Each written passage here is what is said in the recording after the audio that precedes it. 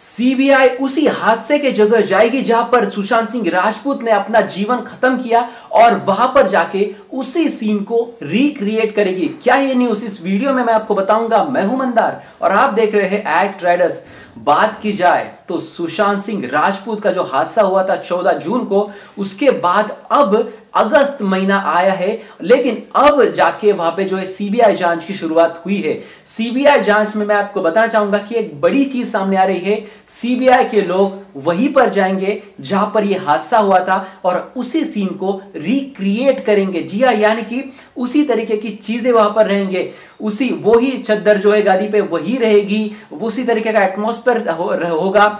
वही लोग घर में होंगे जो उस वक्त थे और उसी टाइम में ये सारा चीज़, ये सारी चीज़ें वहाँ पर होगी। यानी कि सीन रिक्रिएट होगा। सीन रिक्रिएट इसलिए होता है क्योंकि इससे बहुत सारी चीज़ें सामने आ सकती है। अब घर वाले हर एक नौकर की जुबानी होगी, उनको बहुत सारे क्वेश्चंस पूछे जाएँगे और इसमें अगर गड़बड़ हो तो भाई आप अटक सकते हो, क्योंकि सीबीआई से कोई नहीं भाग सकता। जी हाँ, अब सीबीआई में हमारे सामने आएगा अगर इसमें कुछ गड़बड़ है, क्योंकि जो निशान थे, सुशांत सिंह राजपूत के जो आखिरी फ़ोटो जो वायरल हुए थे, उसमें जो गले पर निशान थे वो निशान बहुत सारी चीज़ें कहते हैं। वो निशान जो है, वो ऐसे लगता है कि वो किसी कपड़े के निशान नहीं है, वो किसी रस्सी के निशान है। जी हाँ तो इस पर भी जाँच होगी। बहुत सारी चीज़ें वहाँ पे जो है देखी जाएगी। अब क्या इन पर कुछ बड़े नाम सामने आएँगे? क्योंकि ये जो मामला है, ये उनके एक्स मैनेजर यानी कि दिशा सलियन से जोड़ा जा रहा है। और इसके लिंक भी सामने आ रही है, कुछ सबूत भी सामने आ रहे हैं तो